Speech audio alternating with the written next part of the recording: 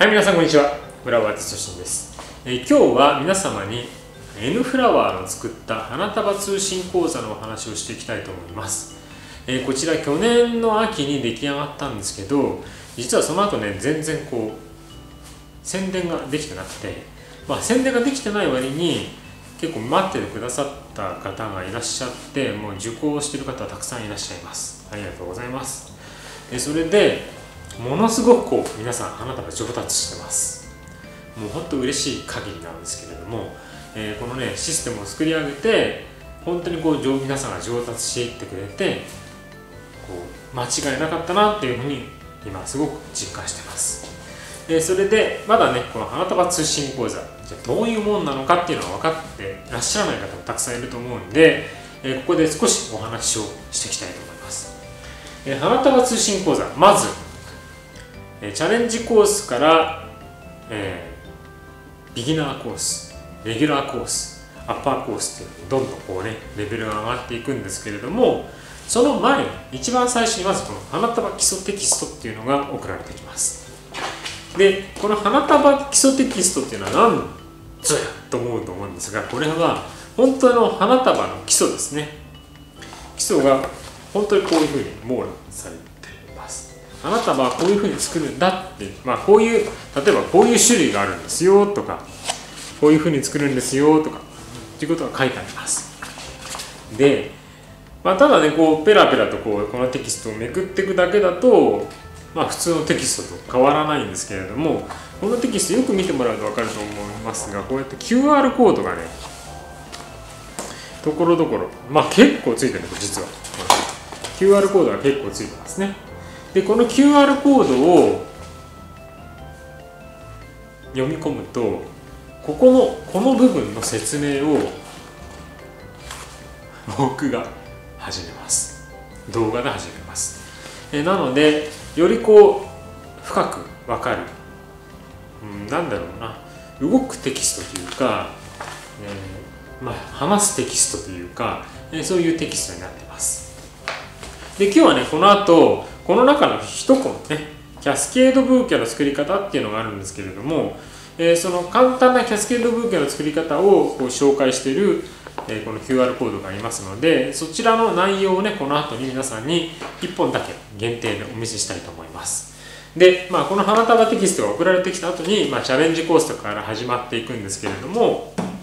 えー、そうするとねチャレンジコース今度始まるとこう画材と一緒にねえー、こういう、まあ、これこれチャレンジコースではなくてこれもっと上のレギュラーコースのものなんですがこういうテキストも送られてきます。でこのテキストは一応こう目で見て、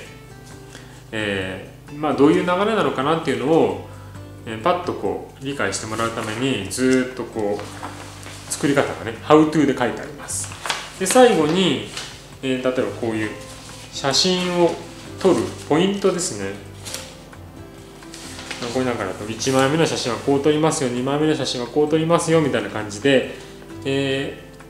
ー、写真を撮っていただくポイントが書いてあってでその写真をメールで添付してもらう。もしくは郵送してもらう。そうするとそれに対して、えー、うちの N フラワーの、まあ、僕を含めた指導陣がですね添削をして、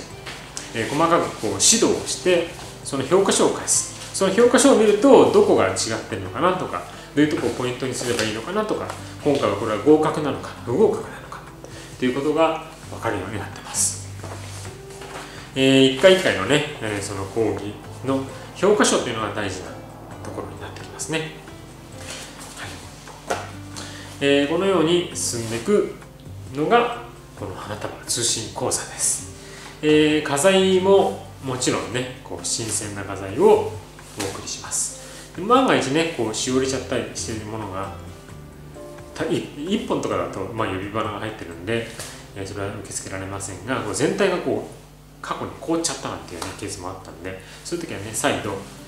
ちろん無償でねお送りさせていただいてます。まあ今ねこう迷われてる方とかもいらっしゃると思いますがこうお家で、まあ、できるというね利点がありますねこちらは。えー、もちろん N フラワーの通学コースに来ていただければこう皆さんね楽しみながらも皆さんの和気あいあいと作ることもできるんですけれどもまあ人によってはこう一人でやりたいとかえ時間がないから夜やりたいとか、えー、もう本当にこうじじ時間にこうとかいろんなものに束縛されないで自分の好きな時間にやりたいっていう人も多いので今この通信講座もいいのかなっていうふうに僕は思ってます、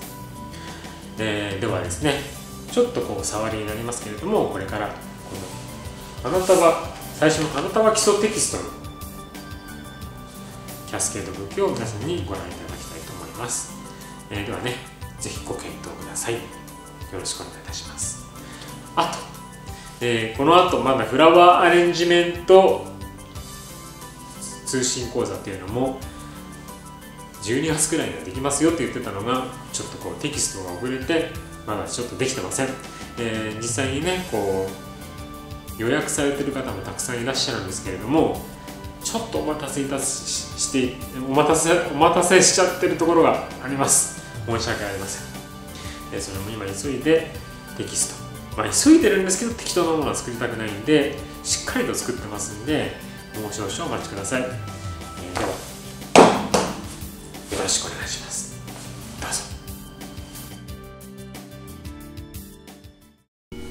い、え、それではこれからキャスケードブーケを作っていきます。ではちょっとアップしてみてみます、えー、まず真ん中の部分ですね。を作ります、まあ、今回はトルコ表で作っていきます。このグリーンをこうかませながら作っていきますね、えー、これは先ほど丸めたクッショングリーンです。でまあキャスケードブーケはこう垂れてくブーケなので、えー、少しそこを踏まえながら、まあ、真ん中の部分も作っていく。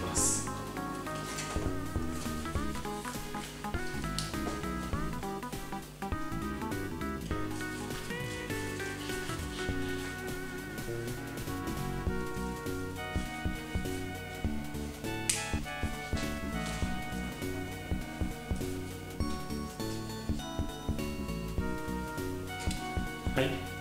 えー、そしたら今度こう垂れる部分も考えつつこう垂れる部分も考えつつ構成をしていきます。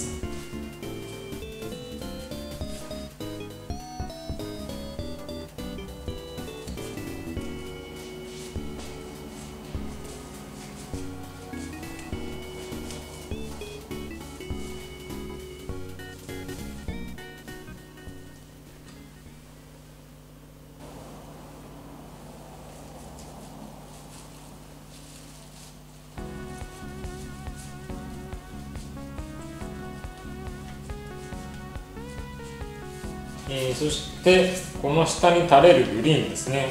伸ばしていくグリーンも入れていきます。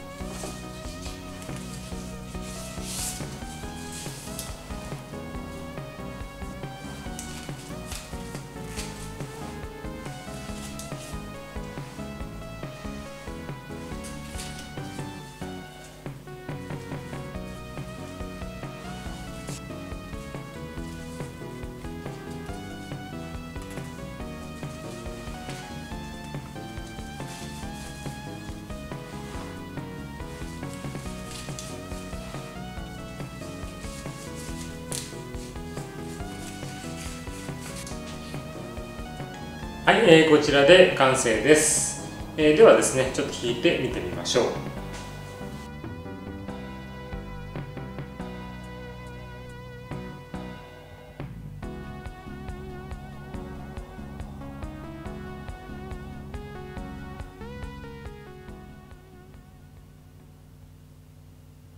はい、えー、花束通信講座の花束基礎テキスト少し見ていただきましたがいかがだったでしょうか？えー、ぜひね私もこう通信でやってみたいっていう方がいらっしゃいましたらこちらこちらまでご連絡をお待ちしております。これ絶対にこれうまくなるプログラムなんでやってみてください。ではよろしくお願いします。